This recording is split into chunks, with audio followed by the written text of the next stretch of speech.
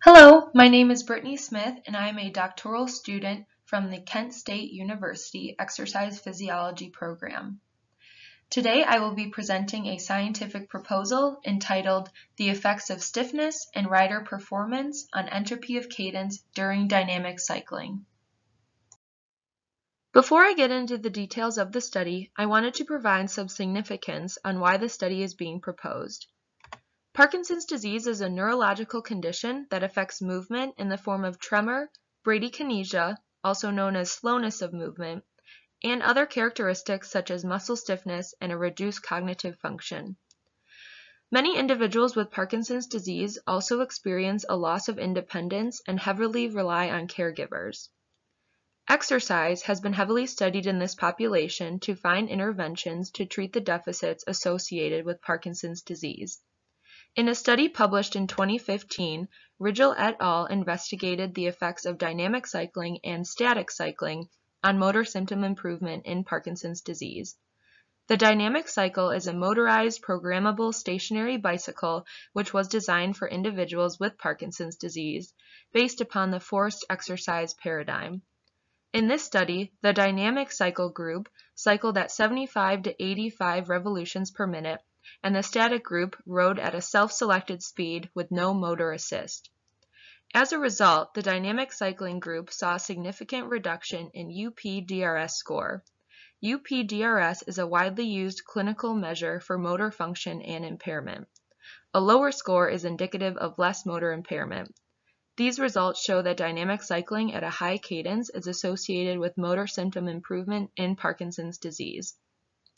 This improvement is thought to be due to a higher sample entropy of cadence in dynamic cycling than static cycling. Sample entropy is a measure used to quantify variability and predictability. However, it's currently unknown how the stiffness or resistance levels of the dynamic cycle, as well as rider performance, alter the entropy of cadence. The purpose of this study is to determine how stiffness settings and individual rider performance on the Dynamic Smart Bike affect sample entropy of cadence. Understanding these relationships will help to better compare these variables to the Parkinson's disease population, as well as prescribe appropriate exercise prescriptions to individuals with differing Parkinson's disease severity. For the methodology for this proposal, we will be recruiting healthy adults ages 18 to 39 years old of varying cycling abilities. We will then ask each participant to ride on the Dynamic Smart bicycle at 80 revolutions per minute for 5 minutes at each of the six stiffness or resistance levels. Second by second, speed and power data will then be recorded during the entire exercise bout. That data will then be entered into an entropy of cadence algorithm in MATLAB. The sample entropy of cadence will then be analyzed for all participants. A few results that we expect to see from this proposal include that sample entropy of cadence will decrease with increasing stiffness, Sample entropy of cadence will be greater in individuals who have more experience with cycling.